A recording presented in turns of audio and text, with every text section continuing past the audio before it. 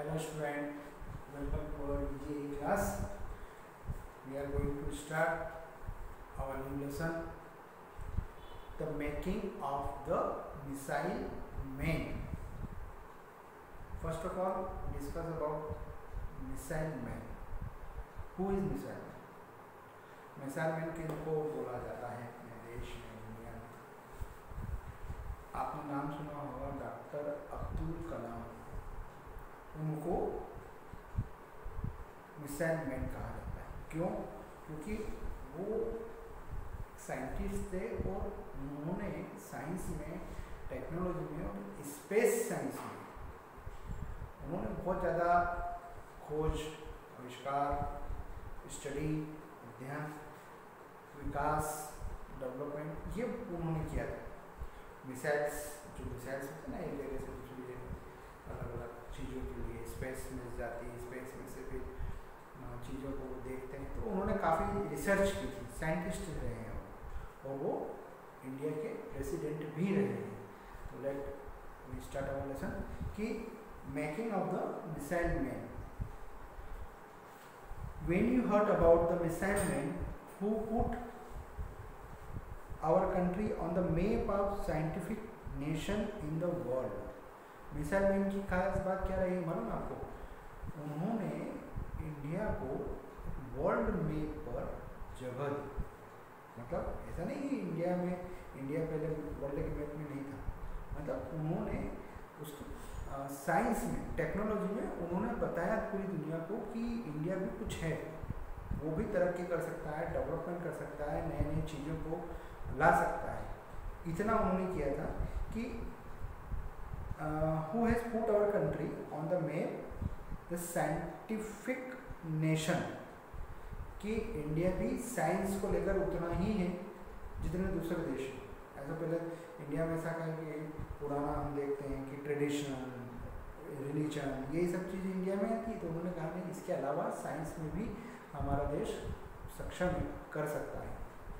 Yes he is none other than eleventh president eleventh president रहे हैं वो India के।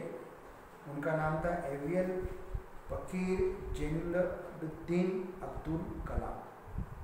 काफ़ी लंबा नाम रहा उनका तो इसको शॉर्ट में कहा जाता था A P J Abdul Kalam. He comes from the middle class family वो एक मिडिल क्लास फैमिली में से थे कोई बहुत ज़्यादा वो रिच फैमिली से या इस जगह से बिलोंग नहीं करते थे। सिंपल फैमिली से थे। But virtue of his hard work and determination he has risen to the highest office of our country highest office highest office president India का प्रेसिडेंट का हाइएस्ट ऑफ़िस उसको उन्होंने वहाँ पे हाइएस्ट ऑफ़िस बोला कि उनका डिटर्मिनेशन लगाओ किसी चीज़ में। इससे वो उन्होंने अपनी जगह बनाई। है ना? तो इतना उन्होंने करने के बाद वो अपनी highest office of our country तक पहुँचे। His father was poor man उनके फादर एक गरीब व्यक्ति। From the from his Abdul Kalam learn to respect all religion from where he learn to respect from his our religion, from his father, because his father is very poor, and he respect all religion. Same. वो सभी religion को समानता की दृष्टि से देखते थे। उनकी निगाह में कोई भी रिलीजन ऊँचा, नीचा, बड़ा, छोटा नहीं, सब एक जैसे।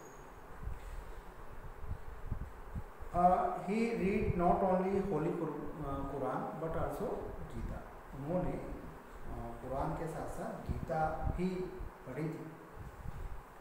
His family made its living by ferrying pilgrims between Dhanushkodi and Rameswaram in Tamil Nadu Tamil Nadu की जो जो दो जगह धार्मिक रामेश्वर सभी जानते हैं इसके बारे में तो वहाँ वो अपना काम काज करते थे गरीब फैमिली से थे but devastating cyclone destroyed their boats. As a result, the family lost its only source of life. मतलब वो बोट चलाने का काम करते थे दो जगहों के रामेश्वर से लेकर धनुष कुड़ी जगह जो है, एक जगह से दूसरी जगह जाने जाने का काम किया करते थे। सिंपल थे, गरीब थे। लेकिन एक तूफ़ान में उनकी जो एक आजीविका का जो साधन था, जो उनकी बोट थी, वो भी टूट फूट गई थी, बर्बाद हो गई थी तहस नहस हो गई थी। Abdul Kalam had to face lot of difficulty in pursuing his studies अब उनको क्या होता था? परेशानी। उनको उनकी पढ़ाई में बहुत ज़्यादा दिक्कतें आती थी। गरीब थे। गरीब थे तो पढ़ने में उनको बड़ी परेशानी थी। In order to help his family through the crisis उनको पढ़ाई के साथ साथ उनकी फैमिली को भी सपोर्ट करना था। हेल्प करनी थी। Kalam collected tamarind seeds and sold them to the store shop देखिए यहाँ पे एक चीज़ इन्होंने ये भी बताई कि कोई भी काम हम कर सकते हैं अगर हम चाहें तो। इमली इमली के बीजे, इमली बेचना उन्होंने शुरू करा था किस चीज़ के लिए कि वो कुछ हेल्प कर सकें उनके परिवार के लिए, उनकी पढ़ाई के लिए। ये चीज़ उन्होंने देखी थी। For his for this he was paid a लॉटली sum of about six पैसा वन आना केवल छः पैसा लगभग एक आना। उनको इस चीज़ के लिए मिलता था। बहुत छोटे से पैसे थे उस टाइम पे। और इस पे वो अपना सपोर्ट करते थे, उनकी फैमिली को सपोर्ट करते थे will support his family he also collected popular newspaper in Tamil Dinamani at Rameswaram railway station and help his cousin Samsuddin in selling newspaper बेचने का काम भी करते थे तमिलनाडु में। उनके कजिन ब्रदर के साथ। For this service Kalam has paid a little money इस चीज़ के लिए भी कुछ पैसा मिलता था। तो his earning was very little he was happy that he was able to care for his family उनको बहुत छोटी अर्निंग थी, लेकिन इससे थोड़ा सा सेटिस्फेक्शन मिलता था कि चलो यार, कुछ मेरी फैमिली को सपोर्ट हो रहा है। At school he was eager to learn about everything English math science and Tamil were this favourite subject school से ही, शुरू से ही उनको पढ़ने की काफ़ी रुचि थी। इंग्लिश मैथ साइंस तमिल ये उनके फेवरेट सब्जेक्ट रहे हैं।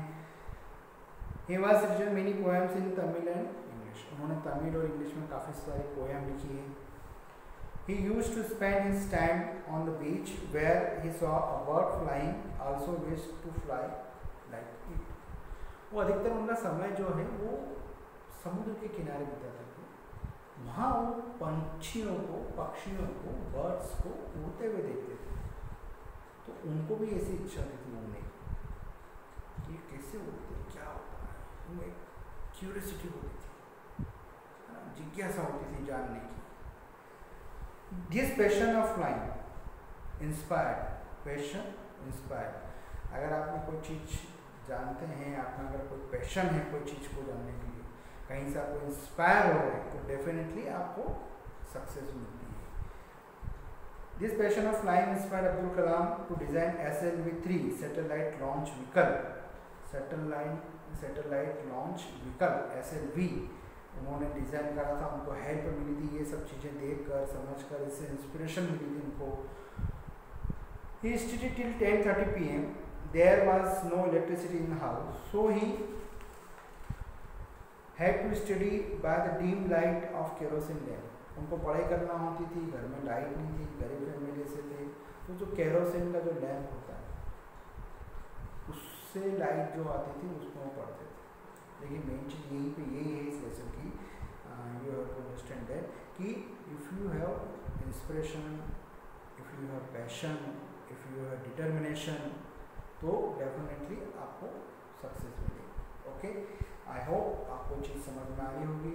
अगर अच्छा लग रहा है लाइक कीजिए आप उसको। We will continue this lesson in our next okay thank you